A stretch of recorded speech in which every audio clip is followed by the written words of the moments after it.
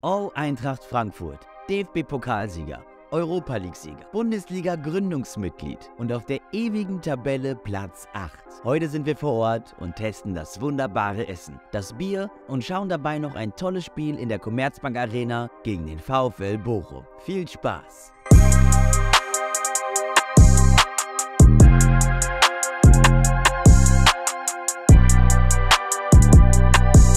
Das ist cinematisch, wirklich, das ist Cinema. Stößchen!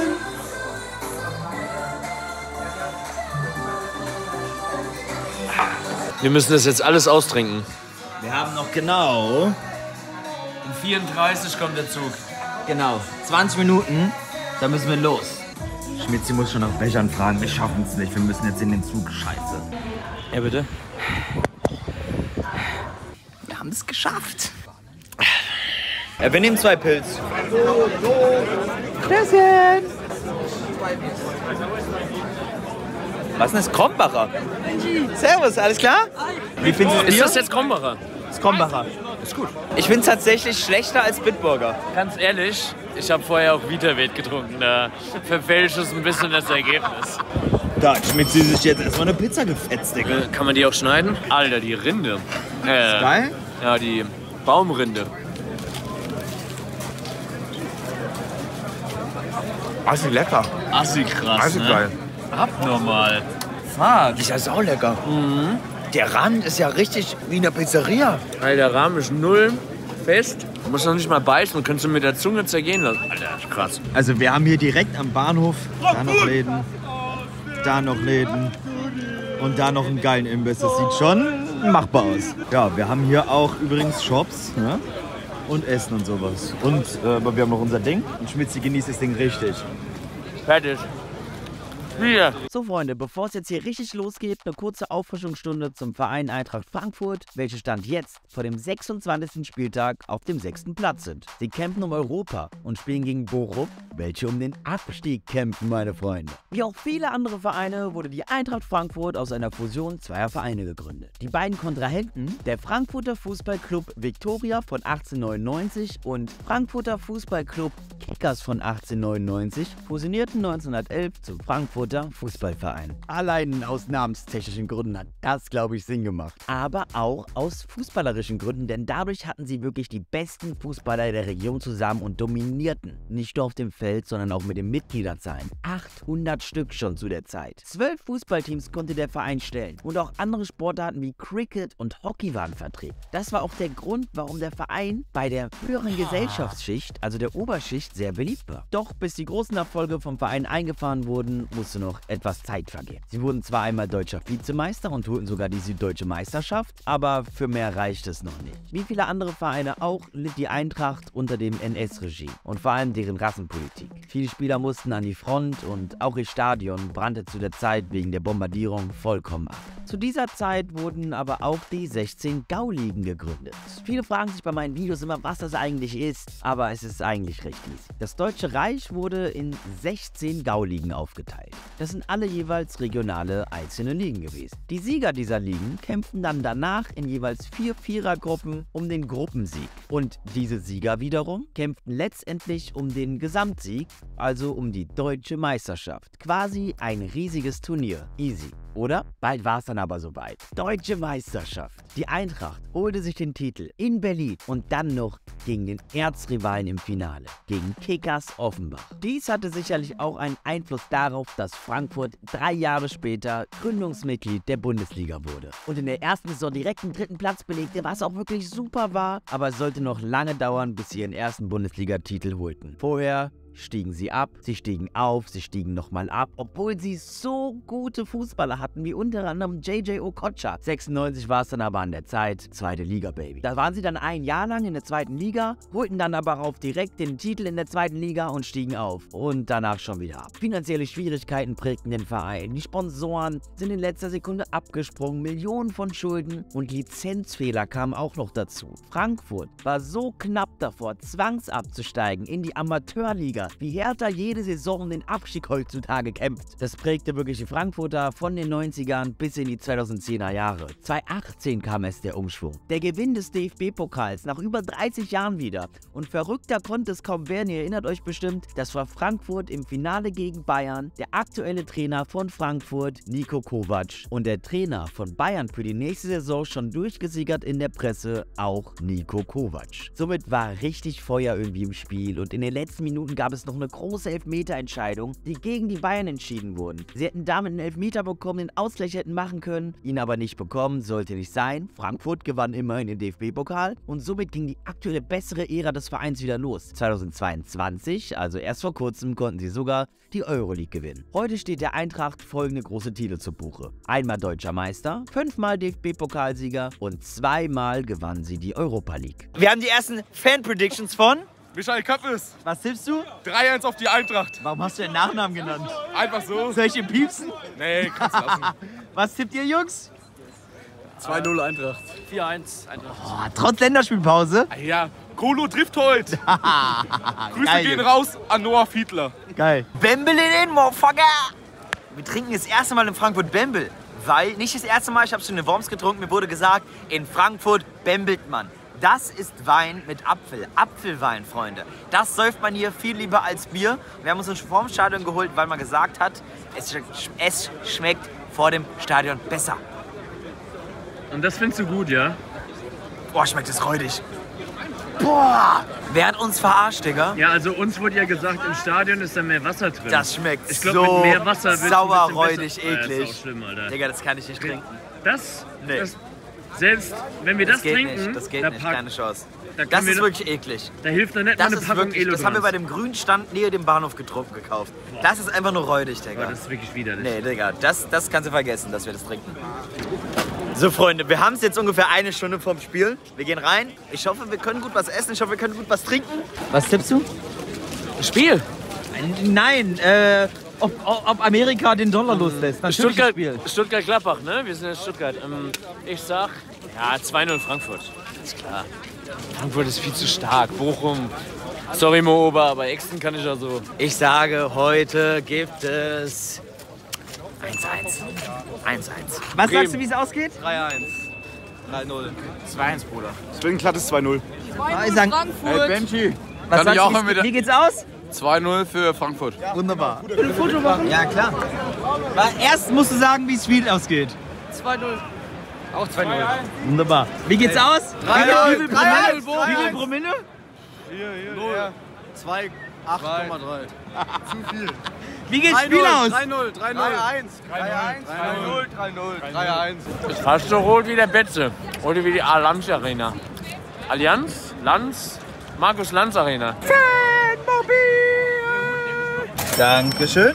Dankeschön. Also qualitätsmäßig sind die wirklich saugut, die Schals. Der Druck ist sehr, sehr stabil, wirklich. Und die Qualität fühlt sich richtig gut an. Was gibst du 1 bis 10? Du bist heute der ich, darf ich Quizmaster. aber neg negativ Oh, ja, sagen? natürlich, klar. Der Verkäufer hat gemeint, ich soll nichts mehr trinken. Größte Das Quatsch. ist Quatsch, ja. So. Boah, Stadion war es ist aber Quatsch jetzt, oder?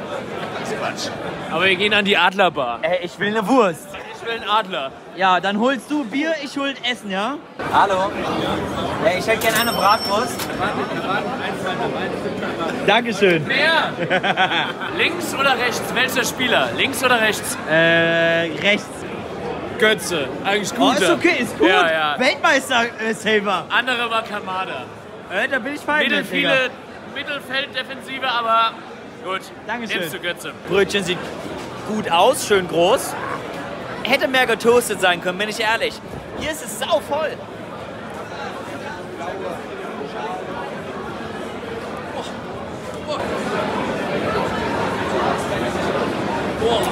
Schmeckt nicht so geil, bin ich ehrlich. Brötchen und Wurst schmecken zu sehr von der Stange. Schmeckt nicht. Nee. Schmeckt wirklich zu normal. Kein Knall, kein Knack, keine Würze dabei. Verehrter Herr, wen juckt das Brötchen? Ich habe gerade das Bier äh, probiert. Du hast dich vorher noch beschwert über den Blähbauch im Hanne, ne? Trink das mal. Also ich habe jetzt ein Kom Also das ist ja... Also man muss sagen, wenn man aus dem Zug aussteigt, das Bier, was wir da getrunken haben, boah, Weltklasse. Und die Pizza Weltklasse, aber das Bier, was ist? Und dann haben wir komplett... Das ist also Krombacher, das ist das Problem. Nein, das Problem ist, dass es minus 14 Grad ist. Alter, das schmeckt wie...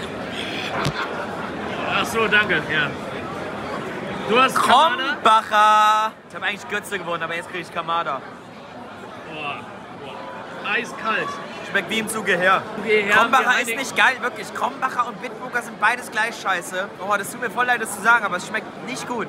Das Waldstadion. Aktuell aber unter dem Namen Deutsche Bank Park bekannt, natürlich wegen dem Sponsoring. In dem Ding steckt ordentlich Geschichte. Also theoretisch. Denn 1925 wurde der Lachs hier schon eröffnet. Häufiger aber immer wieder umgebaut bzw. sogar neu errichtet. Für die Fußball-WM. Hier mal ein kleiner Steckbrief. Grundsätzlich wurde das Stadion 1925 erbaut. Da hatte das Ding eine Schwimmanlage, eine Fahrradbahn und gekickt wurde hier natürlich auch. Der Look erinnerte hier sehr an die antiken griechischen Theater von früher. Und das Stadion wurde nach dem Krieg sogar einmal von den Amis beschlagnahmt. Und hieß eine Zeit lang nicht mehr Waldstadion, sondern Victory Stadium. Fand ich ganz interessant. Auf jeden Fall ging das Stadion dann auch wieder die, an die Deutschen über und hier durfte wieder deutsche Turniere ge gespielt werden. Unter anderem auch ein deutsches Durcheinander. Denn 50.000 Zuschauer passten hier eigentlich rein. Für ein Spiel damals gegen den 1. FC Kaiserslautern wurden aber 70.000 Tickets verkauft. Es kam zu Schlägereien mit über 200 Verletzten, weil sich die Leute mit den Tickets, welche als zu viel verkauft wurden, gewaltsam Zutritt verschaffen wollten. Das konnte dann natürlich nicht so bleiben. Es fand eine Modernisierung statt und nun passten knapp 80.000 Zuschauer ins Stadion. Und wie ihr seht, war das damals natürlich noch was ganz anderes als heute. Mit den ganzen Stehplätzen, das ist ja nicht wie heute mit den Stadien. Das Stadion hatte dann sogar eine Eisbahn bekommen. Das war in Frankfurt sehr beliebt, weil man sie eben neben den Wettkämpfen, die dort waren, auch öffentlich privat zum Laufen benutzen konnte. Der zweite Umbau des Stadions war dann für die nächste WM angesetzt und zwar 1974. Das wurde dann dafür quasi wirklich fast neu gebaut. Das ganze Ding wurde abgerissen und ein Stadion, was sich echt sehen lassen konnte, mit einer Haupt- und Gegentribüne wurde gebaut. Aber wie ihr seht, das sieht noch nicht mal im Ansatz so aus wie heute. Und da sprechen wir schon von der nächsten WM in unserem Land und zwar 2006. Dafür wurde das nochmal umgebaut. Und wirklich nicht umgebaut, theoretisch das ganze Ding ist ja komplett anders. Dieses Prachtstück hier bietet Platz für knapp 50.000 Plätze beim Fußball. Wir sprechen hier schon wieder von einem verschließbaren Dach sowie einem Videowürfel an der Decke, wie wir es ja unter anderem auch auf Schalke in der Felddienst Arena gesehen haben. Hier findet halt nicht nur Fußball statt, sondern auch viele andere Events wie Konzerte oder American Football. All in all finde ich, das Ding hier ist echt schön. Es ist schön modern, es ist schön in einem Waldabschnitt, verbunden mit einem direkten Bahnhof, viel Platz außenrum für natürlich gutes Essen, geile Stände, geile Stimmung. Wunderbar. Boah, was gibt's hier denn Geiles? Ich soll sagen, dass ich mich eher da sehe. Das war im Krankenwagen, ja, in meinem Taxi. Ja, ja. Alter, was gibt's denn hier, Digga? Das ist ja asozial geil. Aber Schlange. Das müssen wir essen. 100 Prozent. Ha, guck mal. Das riecht Alter. so, das riecht wie auf dem Jahrmarkt. Hier gibt's einfach auch Shawarma, Baby. Und Schmitzi sagt, wir sollen Shawarma machen. Ja, lieber als im Burger, weil wenn du. Ah, habt ihr, haben die das Video schon gesehen von dir heute? Weil hier gibt's auch Burger. Wir holen Shawarma. Hallo, würdest du eher den Burger oder den Shawarma empfehlen? Dann nimm ich den den Burger. Shawarma. Nee, dann nehmen wir den Burger und den Shawarma. Oh, wir nehmen beides. Ja. Das ist der Shawarma und das ist der Burger. Du wolltest Shawarma probieren, also wollte gib ihm bös. Ja, probieren. yalla.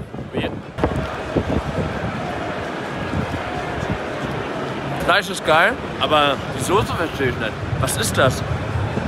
Probier mal. Die Soße ist irgendwie komisch, ne? Die schmeckt wie ein indischer Shawarma.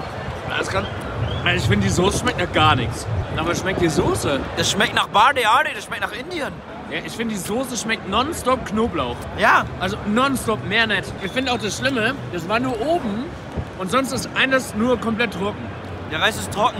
Sahara. komplett. Komisch, gell? Drei von zehn. Ganz Sag ich dir, komisch. wie es ist. Ganz komisch. Ich habe ein bisschen Angst vor dem Burger, Baby. Immerhin hat er viel Käse. Der Burger ist gut. Der Burger ist lecker. Ui, Memo. Das ist echt gut. Digga, ich habe gerade was hier unten gefunden. Guck mal. Hier unten fängt jetzt Salat an. Irgendwas. Also ganz seltsam. Und da unten ist nochmal Soße, diese komische Soße. Ganz unten drin.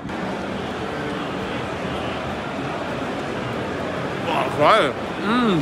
Alter, Der ist saugut, ne? Alter, ist ja gut. Alter. Safe der beste Stadionburger, oder? Der ist saugut, oder? Der schmeckt besser als aus deinem Video. Also nur mal kurz als Vergleich, was es hier alles so gibt in Frankfurt zu essen. Da sind zwei Läden. hier.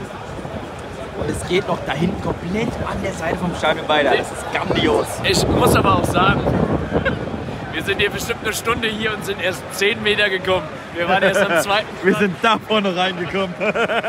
Guck mal, zum Pissen musst du hier wirklich in den Bunker nach unten gehen, Alter. Heilige Maria. Du musst ja auch erstmal eine halbe Weltreise machen zu dem Pissoirs. Heilige Maria.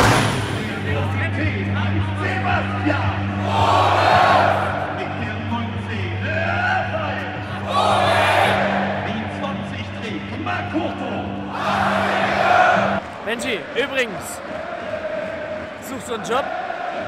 Hier kriegst du bei Indeed kriegst du einen neuen Job. Bei Ingrid, da hat Ingrid bei Indeed ihren Job her. Bei Ingrid, ja. Ich wünsche euch ganz, ganz viel Spaß bei Frankfurt gegen Bochum, Freunde. Was für eine geile Sicht von hier oben. Ich hoffe, das wird ein geiles Spiel mit diesem geilen Würfel da oben. Das ist wirklich eine sehr, sehr geile Sicht, ein geiles Spiel. Mit Bier, was man eigentlich gut trinken kann, oder? Ja, ist geil, aber guck mal, wie viel hat er jetzt ausverkauft, oder? Scheint sehr, sehr voll zu sein, ja. Alles voll. Aber wo sind jetzt die Bochumer? Bochumer sind da unten.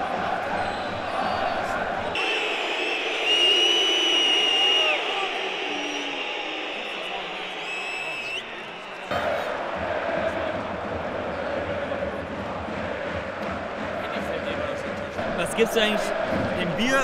Bier von 1 bis 10. Boah, eine 7. Eine 7. Ja.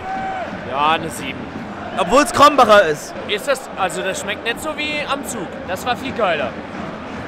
Da stand. Krombacher drauf, aber hier steht Götze drauf. Ich weiß nicht. Ähm, das, äh, das Bier macht so Dribbeling wie in meinem Bauchnabel. Also Götze nicht so viel drauf. Also.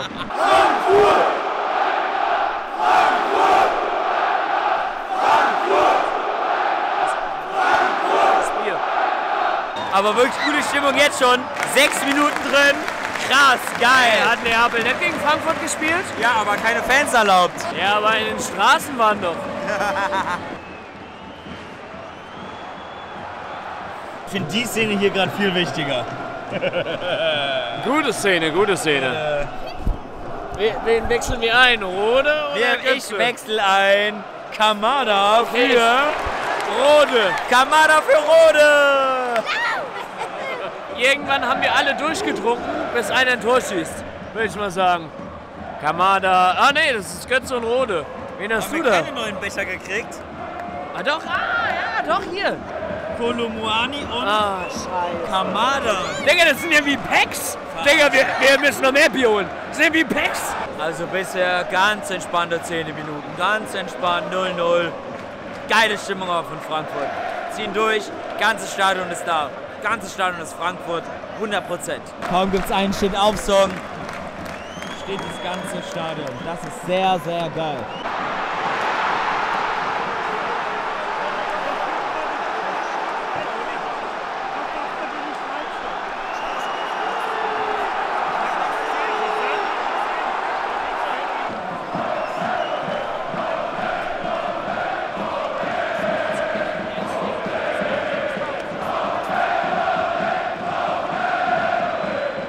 Scheiße für Hertha, gut für VfL.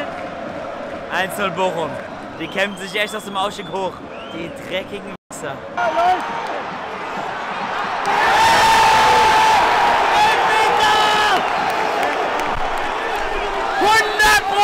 Elfmeter!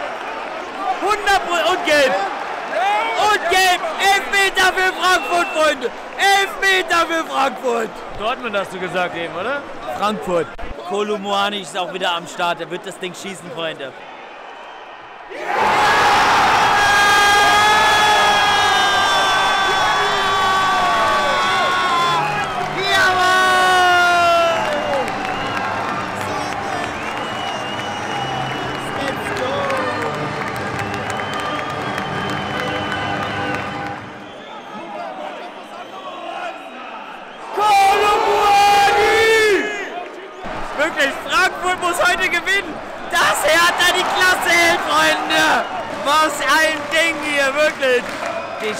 schallert hier so rein, wirklich.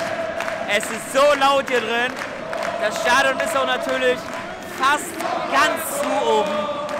Was man nicht vergessen darf, aber geile Stimmung. Frankfurt muss gewinnen für Hertha. Frankfurt muss gewinnen, sag ich euch. Auch in der Halbzeit gibt's hier Essen. Adlerküche, Brezel und die ganzen Stände und den Menschen. Also Ben hat hier anscheinend auch noch einen Burger. Nur, dass ihr es wisst, so zur Klarheit, ich habe mit dem Burger nichts zu tun. Wir holen uns eine Pizza. Hier, genau hier. So, soll ich? Jalla, 1 bis 10. Gib ihm.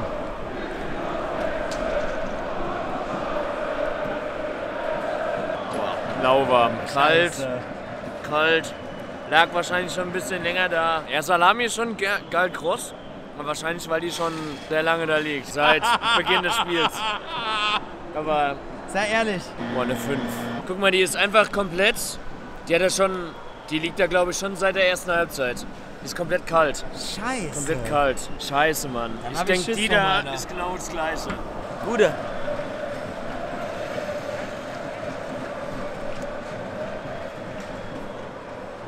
Bei dir warm? Mir ist die komplett kalt. Mann. Also meine ist warm, meine ist okay. Probier mal.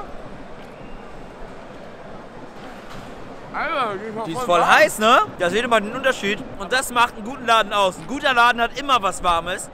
Und ein schlechter hat mal warm, mal kalt. Von wegen, die Pizza schmeckt lecker, die schmeckt scheiße. Meine kriegt tatsächlich eine 7 von 10. Die ist lecker, die ist cheesy, die ist warm. Meine ist echt lecker. Aber der Alkohol treibt's rein. Ich möchte dieses Stadion nicht bewerten. Sag's mir, okay. Das Brötchen, sehr gut. Was isst du in Stadionbus? Eine Stadionbus, zwei sogar, bei Massephase Jungs und Mädchen. Ich liebe diesen Verein. Frankfurt. Brötchen, sehr gut. Es ist ein bisschen weich, ein bisschen hart, die perfekte Mitte. Was will man machen? Man muss, man muss einfach zugreifen. Auch wenn es teuer ist, aber so ist die Inflation, Leute. Auf euch. Schmeckt's gut oder nicht? Es schmeckt wirklich sehr gut. 1 bis 10? Eine 9. Wirklich eine Eine 9. neun? Eine 9. Eine solide 9? Ohne Alkohol wird es natürlich schwierig, aber dadurch, dass wir im Stadion sind, ist immer Alkohol dabei. Komm, Richtig, richtig, richtig. In dem Sinne, ne? Auf euch, Jungs. Gute. Wir sehen uns. Viel Spaß noch. Danke. in eurem Vlog sehen, ja, dann... Safe. Hi, äh, wir nehmen einen Teriyaki Chicken Burger. Riech mal dran. Nee, nee, ohne jetzt zu. Riech einfach mal dran. Riecht Riecht gut. nach, nach Chicken-Töner in, in Kaiserslautern. Nee, guck mal. Die haben so kleine Gurken da reingeschnitten. Wer ist das mit einer Also was, Gabel? das, das hieß doch Teriyaki Burger, oder? ja, das war ein Burger. Ähm, ich will auch nur dazu sagen, das hat 9 Euro gekostet, das Ding. 9 Euro. Die Riecht gut. Burger sind so richtig vom Nicer Dicer. Ja, vor allem das... Äh, die Gurken meine ich. Ey, das ist ein Döner, kein Burger, oder? Ja. Und die Gurken sind richtig vom Nicer Dicer. Cocktailsoße.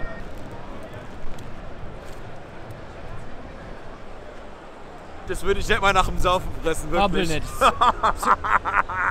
Ist der jetzt schlimmer als der da hinten? Assi schlecht. Ach du Tut mir Scheiße, leid. oh nein. Aber das würde ich einfach nach dem Saufen essen, Digga. Das schmeckt nach gar nichts. Ich verstehe auch nicht, warum da dran steht Burger. Das, das ist doch ein Döner. Also hier kann man übrigens während dem Stadion einfach an den Berg runtergehen. Auf Toilette. Mein Bier ist leer, ich brauche was zu essen und was zu trinken. Also hier ist schon fast so Festival-Feeling. Wegen so fetten Toilettendingern noch. Wenn man so erstmal den Berg hier außen drin runterlaufen muss. Und ich habe im Aussehen ein komplettes Bier auf den Fuß geschüttet. Vor allem, guck mal, da ist nur rotes Kreuz und hier links. Geil, hier ist schon vorbei. Ja, wunderbar. Und Krombacher Feld. Ja. Also hier auch mit diesen Zelten, das gibt einem schon einen guten Festival-Vibe. Gib ihm. Darf ich dir was sagen? Ja. Egal wie hoch du heute rollst. Keine Angst, die Bergwacht ist da.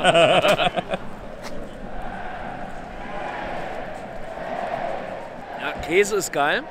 Super über die Pommes gelaufen. Die Pommes sind auch so richtig geile Krosse. Schön aus der Fritteuse geil. Boah, ist auch im Abgang ein bisschen scharf. Guter Hauptgang. Ähm, Etablissement äh, leider nicht so geil.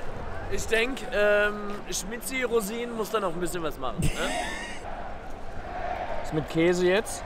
Schmeckt gut. Pommes sind gut. Schön Pommes salzig, gut, ne? gut, gut, gut gewürzt. Also waren die Cheese Fries, ne? Ja, Erst mit Guacamole. ja.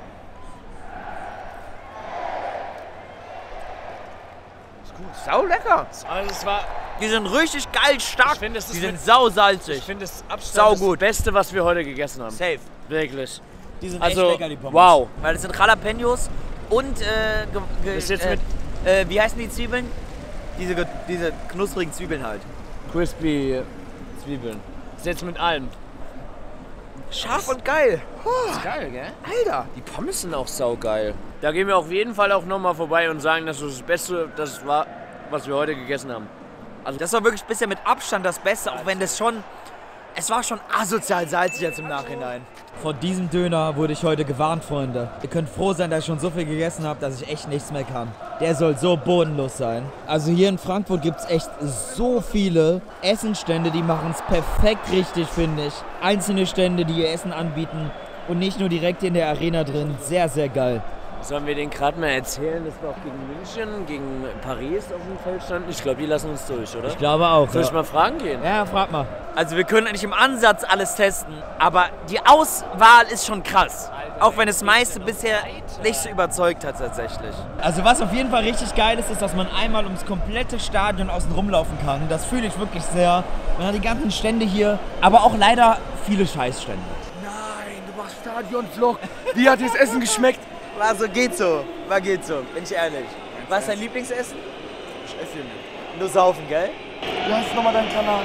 Gamerbrother. Noch früher, wann war es? 2016, alle mit FIFA 16, 17 habe ich noch FIFA-Videos von dir gemacht. Ey, das ist schon lang her, Digga. Ja. Das war auf jeden Fall. Äh, mit diese, mit, ähm, wie heißen die nochmal? Diese zwei.